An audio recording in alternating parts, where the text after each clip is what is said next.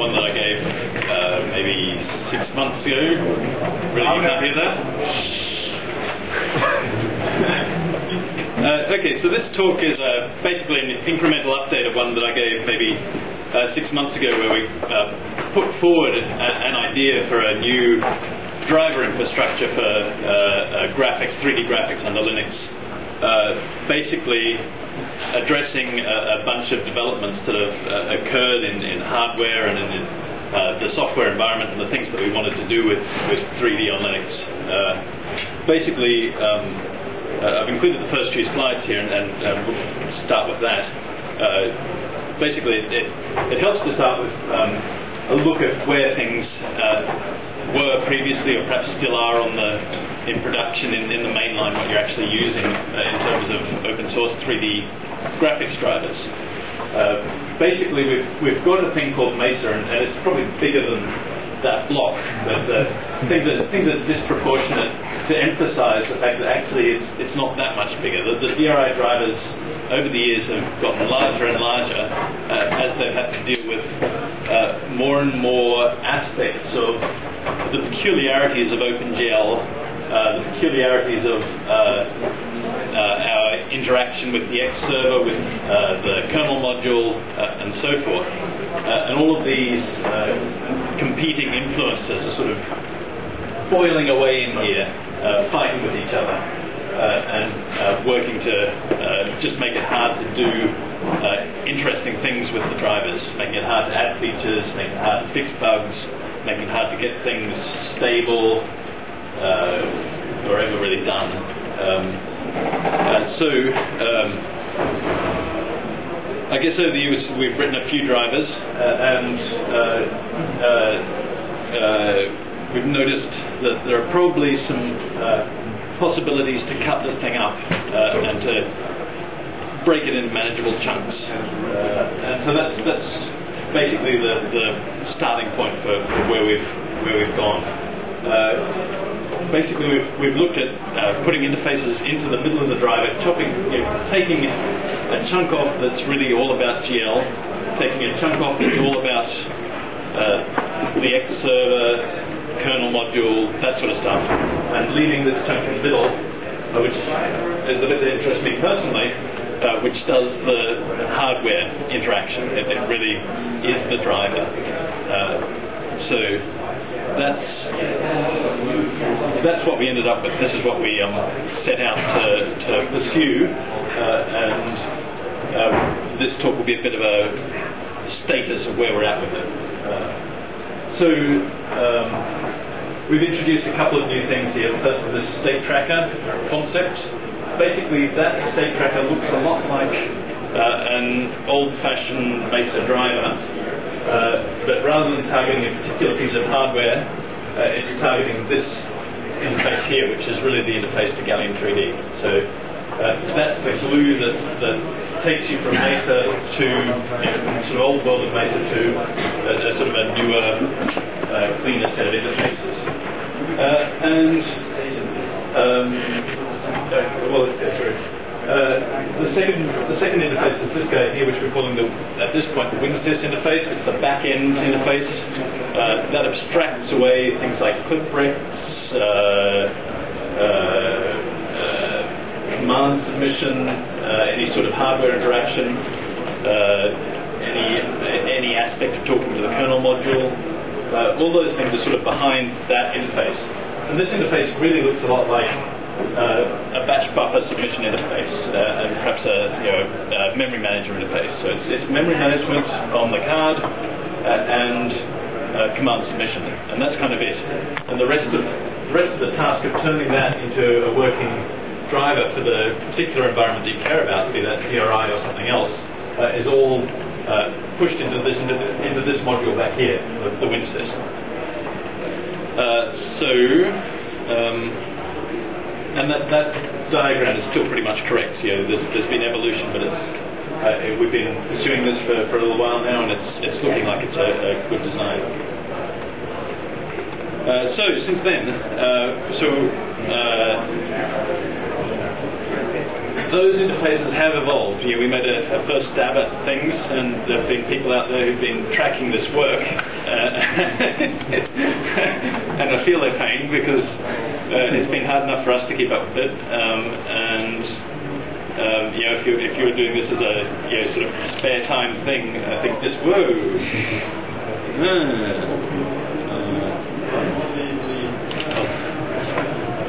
Uh, if you're doing this as a spare time thing, you'd probably um, find that you spend most of your time just uh, dealing with the interface changes that have occurred over the last you know, few months. That's um, it's kind of hard to avoid that because we, you know, it's hard to jump right in with the right interface from, from the start. We've evolved as, as issues have come up. It's inevitable. Uh, but hopefully now we're moving to a point where things are stabilizing. Uh, we've got a pretty good idea of uh, doing with these interfaces. There's some things on the horizon, but I'm, I'm hoping that these guys' pain will be drawing to an end, uh, and that, uh, uh, uh, well, yeah, that we're getting there basically. so that's all kind of boring. okay, so the thing that you'll miss from this this slide is this is all this is my view of the driver. You know, it's it's all about drawing. Uh, so some other people care about you know allocating surfaces and um, uh, doing swap buffers and things like that, all the stuff that um, GLX handles. GLX is just kind of off the horizon here. Uh, so we've had to, probably the big change to this diagram is that there's a, a line going down through here uh, that, that handles those things. And this, this really looks like a 3D rendering context. The, so the, the bit that's missing really uh, uh, corresponds to a, a per screen driver. So this, plan uh, is very good for for, for drawing context. It, it, pretty much ignores uh, how you create a context and, and, what, what environment those contexts live in. And that's important for a couple of reasons. Uh, most, uh, I think the key that, that trips this up is the fact that um, uh, there is sharing of surfaces and, and various other uh, data structures between contexts. And to really achieve that properly, you do need some sort of external persistent entity that, that manages that. So that was kind of missing from, from uh, my worldview, and that was kind of deliberate just to get to the, the core of what, what we really wanted to achieve. But uh, since then, reality has um, asserted itself, and we've had to deal with that a little bit. Uh, okay, with um, uh, in terms of development, we've got some hardware drivers running. Uh, they're all in various states of um, uh, completeness. Uh, basically, the 915 has been our, our workhorse. It's, you know, it's a simple piece of hardware. It's well behaved. We love it, uh, and it's been kind of the mule that we've um, built this thing on the back of. Uh, SoftPipe is the software rasterizer, and so in terms of status, these are pretty much in order of doneness, I guess. So, so 915 is, you know, it runs most stuff. Uh, it could use some work. Uh, uh, know, it's there, it exists. Uh, the biggest problem with it is that it's probably impossible for anybody in this room to build. Basically, we, uh, at, the, at the time we started this work, we all had test machines that had 915 running on a fine. Uh, we just kept them in that state. Now nobody knows how to recreate them. They've all got various odd uh, kernel modules, X drivers, patches and things like that that just happen to work at that point. Uh, there's no way that, that, I could give you a recipe to build that driver, and that's something that we're going to fix uh, pretty shortly. Uh, uh, so, and you know, interesting stuff has happened on the head, uh, on the trunk since this time, since the time that we started that work. So DRI2 has landed uh, what else? There's been evolution in the um, uh, memory manager, uh, etc. Uh, and it's going to be very interesting for us to get this driver into that environment uh, and um, bring it up to speed and, and, see what the see what the world looks like with that there. Um, uh, so SoftPipe is, is what's called the software rasterizer. That's, that's probably no, really, it's the most complete of the drivers. I guess it's, it's number two because it's it's not as interesting as a hardware driver to most people. Uh, it's uh, it needs some performance work. It would be a very interesting project if anybody wanted to take it on. Uh, basically, uh, if you've got an interest in runtime code generation or um, doing cool stuff uh, that people will love you for, uh, SoftPipe, SoftPipe has opportunities. Um, then, uh, and okay, and further down we've got the, we spent a bit of time on the cell driver, I'll talk about that later, uh, and there's a fairly functional 965 driver out there that, um, uh, again, it, it's, you know, if, if you didn't like the 915 driver, the fact that you can't build it, you won't like the 965, because, um, yeah, it, uh, yeah, it's, it's even worse. Uh, and so, uh, and, and then there's, you know, it's impressive that throughout this turmoil uh, and this rapid development process that some, some people out there have um, even tried to track it. In fact, there's at least two groups have done that. So, so and here on the front row, uh, there's been a, an effort in Nouveau, I believe, to, to get a, a G40 driver on the Gallium stack. Uh, NV40. Uh, and um, Jerome has, has put some effort into R300 as well. Uh, so, software rasterizer I talked about. Um, uh, you get some buzzwords like LLVM, which is a really cool uh, compiler architecture for um, uh, useful for runtime code generation. We um, we have code that uh, compile fragment shaders dynamically uh, using LLVM. To really finish the project, you want to compile a lot more than just the fragment shader. You want to integrate that dynamic compilation process with a, something that looked at drawing a whole triangle or a bunch of triangles and, and code generate the whole lot. Um, if you if you took that on, you'd probably be rewarded with a with a you know very capable uh, software rasterizer. Uh, that's a task for somebody. I, I don't think uh, it's not really on the horizon to do that. Uh, as cool as it is. Um, uh, 915 uh, hasn't tracked Xorg, as you know. Um, we're going to fix that. We're going to make it fast. You'll love it. Um, yes, and this is the other thing too. So part of part of this process, if, if you go back to this diagram, here we are. So this is this is um, if you think about dependencies, this piece here, which is, is really the driver now, that really the only thing that it really knows about or has any knowledge of uh, is how to how to drive the hardware. It really doesn't know anything about OpenGL. Uh, it doesn't know anything about uh, the DRI, it doesn't know anything about uh, windowing systems generally. Uh, and uh, the nice thing about that is, well, two nice things. One, it makes it very straightforward to write one of these. You don't have to think about that stuff while you're working on this code. But as a side benefit, it means that that code can run in a whole lot of different places, simply by swapping out these other components. Uh, so, and so the, the, the thing that we have done, and this is this is TG's a business. Uh, we like to pay our wages. Uh, this thing, we've got it running on Windows, uh, and it works. This thing actually uh, exists uh, in some sense as a, a DX9 driver. Um, uh, what can I say? You don't care, but it, it's helpful for us. the point is, you know, if it does that, then it'll do whatever you like. Whatever you care about, whatever um, you know, obscure uh, set of API and operating system and um, windowing system that you've got an interest in, uh, you have the possibility to port these drivers to that environment uh, you know, in a manageable way. It's, it's feasible.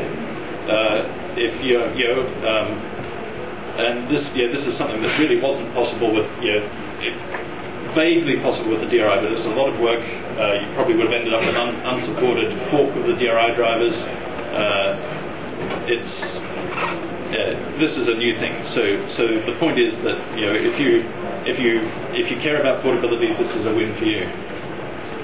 Um, and you don't even need hardware. Uh, this is again, this is probably not that applicable to, to everybody here. Uh, but if you um, if you're trying to run a driver, uh, you don't, you know, this thing, the driver now no longer actually talks to hardware. It talks through a very stereotyped interface uh, that you can put whatever you like behind. Uh, so if you um, if you want to analyze the hardware interactions by dumping the files, if you've got a simulator that runs in a batch sort of a way, uh, if you just don't have the hardware but want to test the driver for some change, whatever, uh, that's possible. Uh, and, and, and this works as well. Uh, so uh, probably, you know, probably, uh, probably the most interesting thing to do, do with this is capture and, and replay of the replay. so if, you, if you're capturing files, then you probably also want to be able to replay them. So that would be a, a useful thing to, to tack on at some point.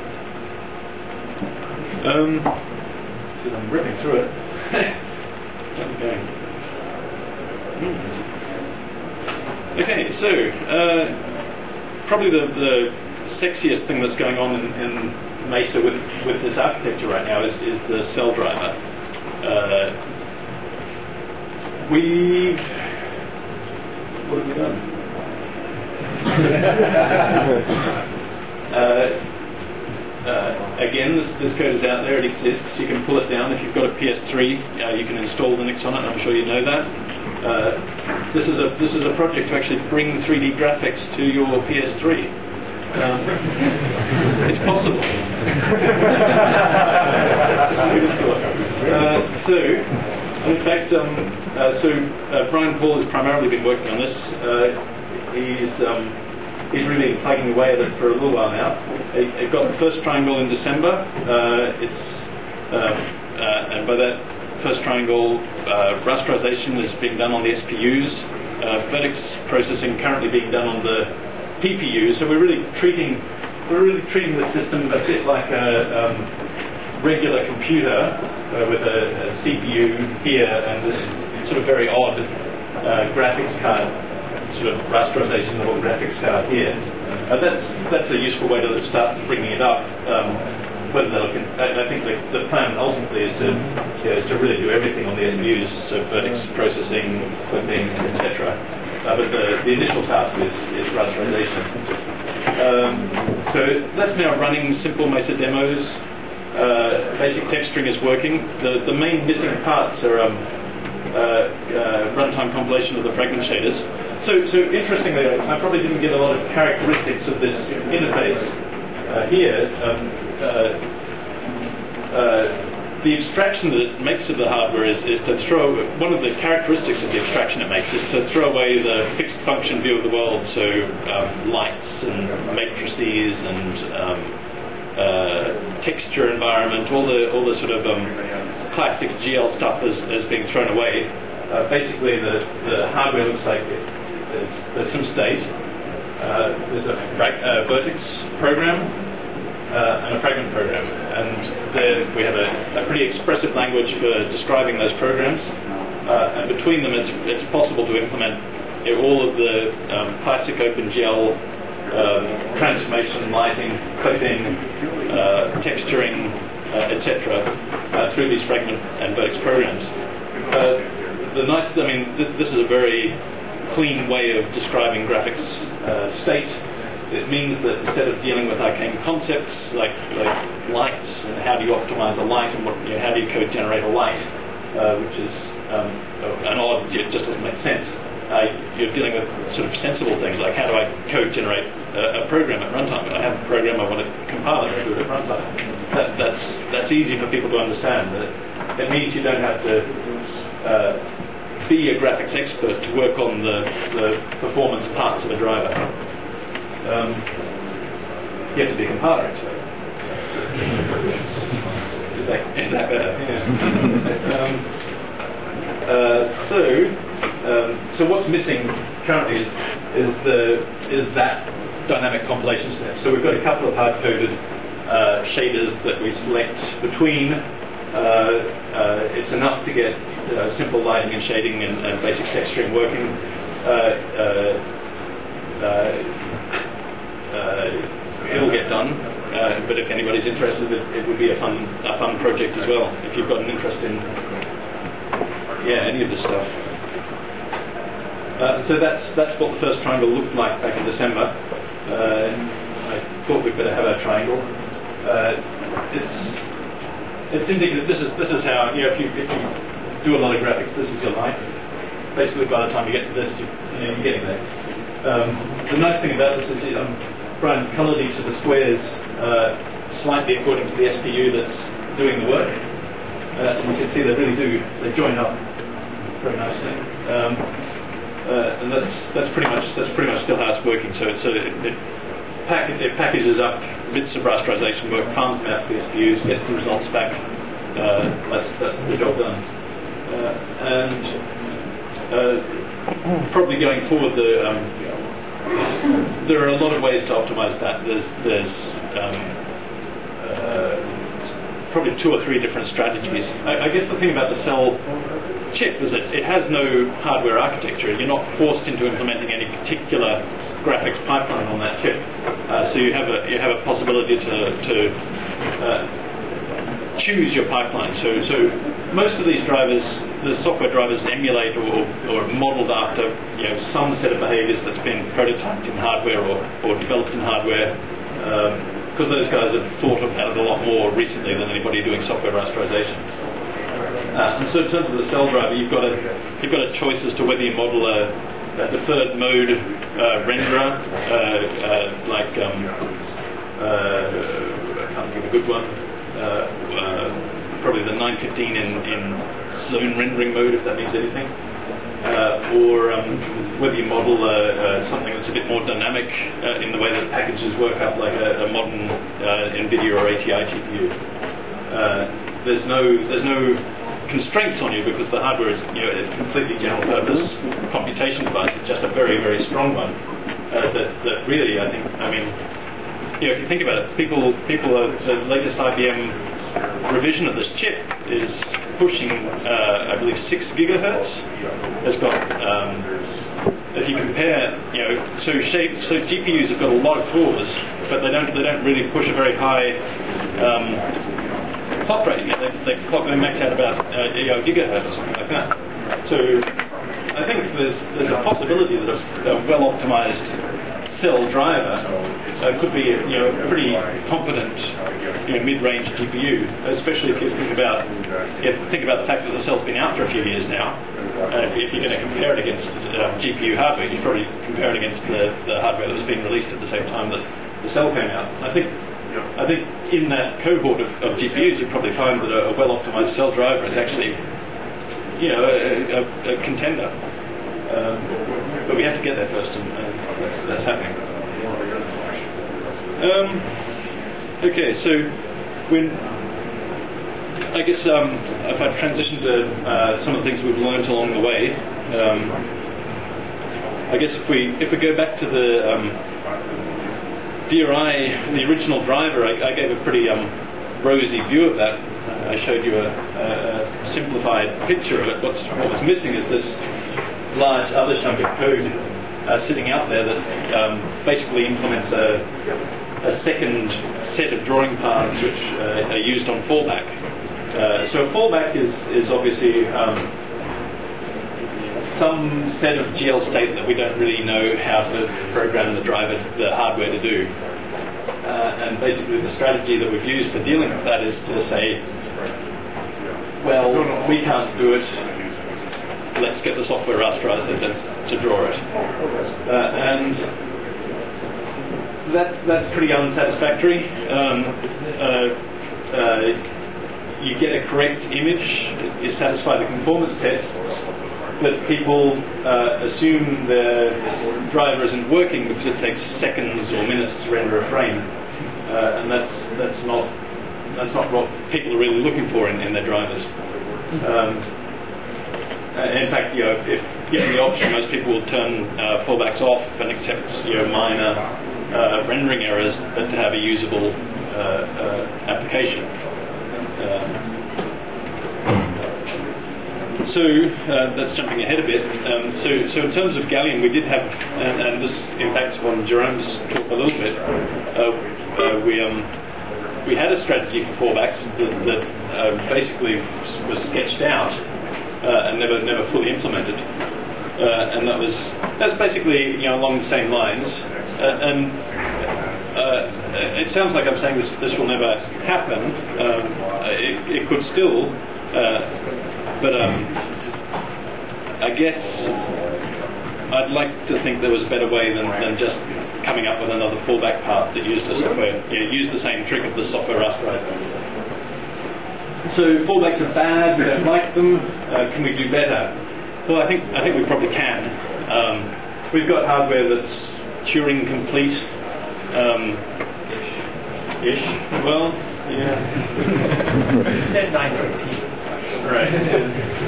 um, Uh, we've got smart hardware, we've got hardware that's flexible, we've got a, a nice uh, layered interface. You know, we can probably come up with ways of uh, getting the rasterization that we need, even though it doesn't obviously map onto hardware.